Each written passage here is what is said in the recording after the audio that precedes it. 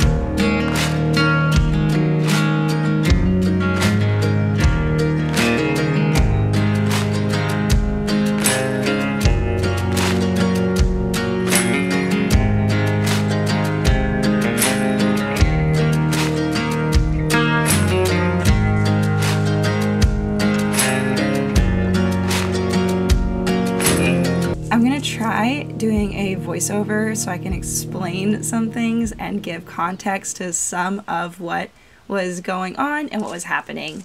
But typically during a session, I try to get on two to three times just so we can work on establishing a strong foundation, that the mounting block is a good place, that we stand at the mounting block, that we can stand at the mounting block for a long time. However, when I got on Henley, I noticed a hole in our training that is a reflection of my own bad habit on the ground where I will give her a reward and then I am impatient. And so I always walk off like right away instead of taking a deep breath after giving her the reward to settle and then moving on to the next thing. And so now she's gotten into the habit of just kind of getting her reward and walking off right away because she thinks that is what I'm asking. So that's something that I just have to go back and clean up a little bit, but you know, that's not the end of the world. The other thing that I really have to work on is not asking too much too soon. With this being the first time I was getting on her, I should have really been working and only working on making sure we had a clear walk cue and a clear halt cue. And me trying to introduce turning with the neck rope was really confusing at this stage because we didn't have clear walk and halt communication. And here you can see her checking in, asking for a reward because she can't figure out what the question is I'm asking because I'm not being very clear with my aids. I'm asking too much too soon. My rewards aren't being frequent or consistent enough, and so that kind of makes her attention span dwindle really quickly, and it doesn't help clarify anything because I'm not being clear at all. And so, because I wasn't being very clear or concise, she started getting frustrated, confused, and was like, eh, I'd rather go back to the pasture. And so I lost her attention. And the next time I get on, I'm really going to just work on making sure we have a very clear walk off cue, very clear halt cue, and not worry about turning at all. She can walk wherever the heck she wants. We just need to make sure we have those two basic foundation pieces locked and loaded. I think we're quickly running out our clock of attention span. All right. I think we fit our limit today.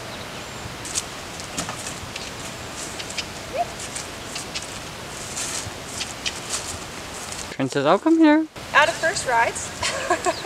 that wasn't horrible. You know, that actually, that could have gone a lot worse. I'm so proud of her. You give me a smile? That was enough. How do you feel it went, hun? How do you think you did today? I think you did freaking awesome. I think we did all right. We didn't do the greatest. I mean, we didn't smash out of the park, but you know what? We definitely didn't fail.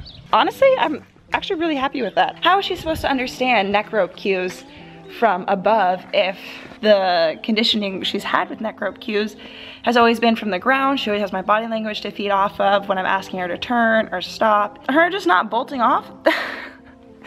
I mean, that was, I'm okay with that.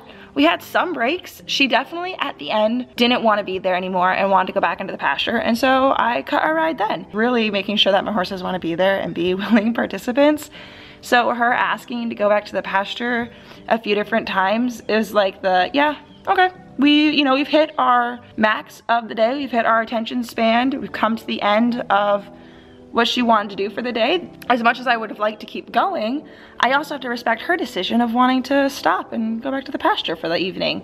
It's not teaching her bad habits or spoiling her or anything of that nature. It was just, you know, she wasn't having fun. I might not have been rewarding frequently enough once I was on her back and so she got confused and now she it wasn't really worth her while. She wasn't learning. She was confused. No one wants to hang out when they're confused. I mean, hello, do you like being confused? I know I don't. That was our first ride. Honestly, I it could have gone so many different ways. I think that was on par with pretty much what everyone else goes through. So, frick yeah.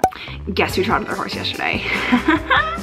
It was me, it was I, I did it. We trotted under saddle in just a neck rope. Not only did we trot, but we turned and we halted, which like, who's gonna stop us now? We're unstoppable, unstop, unstoppable. Uh, the only problem is that none of that footage is usable because the exposure on my camera was cranked up to the nines apparently, and it's just a just a screen of white. Like there, there's no saving that footage, which really sucks because because I wanted that badly. Have no fears, my friends. We're gonna go for round two today and perhaps, fingers crossed, we can trot more than 10 steps at one time, which like, whoa, watch out. We are, we're coming for you. I don't know who we're coming for, but we, we're coming for you. I'm gonna go grab Henley, tack her up, and get on and try trotting again. I just, I can't believe we're trotting under saddle in like a neck rope on a horse that's off the track only a month and a half. Look at me, fucking awesome. And so is my horse. Rather be fun than what they say won't be safe and sound. There's time for that, but not now. My shirt is on backwards. I can't even dress myself. This is embarrassing. The other day, my pants were on backwards. Thought that was a fluke incident. Turns out I was once again incorrect. No, I was right. Oh my god, this is backwards. Sorry, I'm having a midlife crisis. I don't know how to dress myself. Apparently, I was actually just mistaken. This, in fact, is the back. I was wondering why the front didn't appear to have a tag, but I definitely thought that was the back. So that's how today's gonna go. We are tacked up and should be ready to go. I actually just had a fun conversation on the phone. I had my saddle evaluated to just see if like the general fit is okay and like the tree size and stuff in my saddle is good to go. And it is right now, it's just slightly out of balance, as you might be able to see. The back is sitting like a little bit low. I'm gonna purchase a Mattes half pad and then put some shims in the back and have her reevaluate it that the fit is still good and now it's balanced. Boy, oh boy, is this a look. We are fashionistas, fashion icons, the both of us. Oh, there's no saddle pad under my saddle. Sorry, it was like this for trying on for the saddle fitter. Hang on, we'll be right back after we put a saddle pad on. Don't come round and waste my time. A generation of my time. There is nothing we can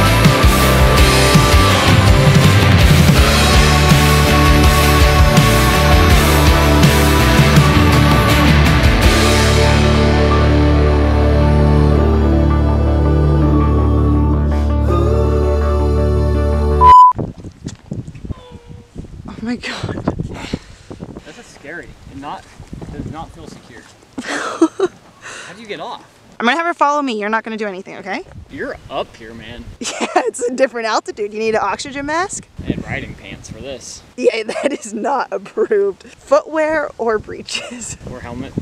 Oh yeah, or helmet. You're risking a TBI there, buddy. It's, I've fallen further.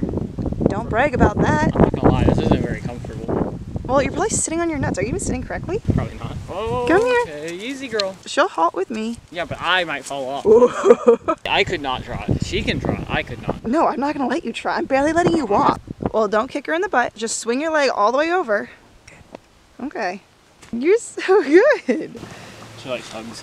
Yes, she does. And cookies. We're doing so good. She keeps just excelling and improving so freaking much. To be able to be trotting and halting and turning and just a neck rope and I also don't have an arena. She also has such a sane brain with probably any other horse it would be taking a lot longer. Do not base your own time frame off of our time frame. Please for the love of God this is going so smoothly. Like eventually we're gonna hit a bump in the road. She's just excelling at everything and you know giving me the green light and saying okay to letting me get on, letting me trot, walk, turning. She's just learning so fast. Any other horse I wouldn't even be able to tack them up yet. To have her already be here is just, I'll stop blabbing. I gotta untack her, put her back in the pasture. This horse is amazing.